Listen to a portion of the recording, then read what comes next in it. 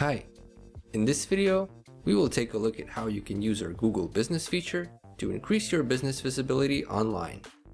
This free custom feature will make it easier for new clients to find your business locations using Google Search, Google Maps, or Google Assistant, as well as book with you via Google Reserve.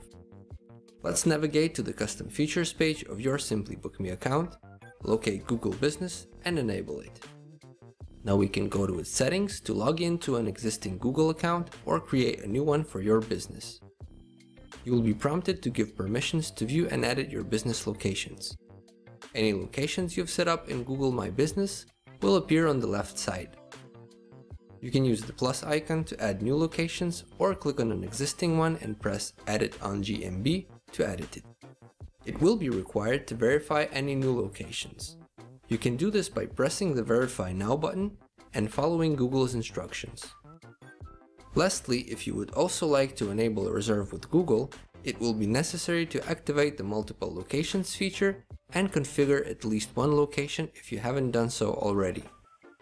You will then be able to choose the Simply Book Me location you want to assign to this Google business location and save changes.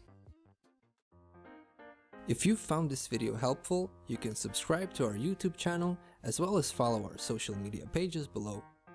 Thank you for choosing Simply Book Me.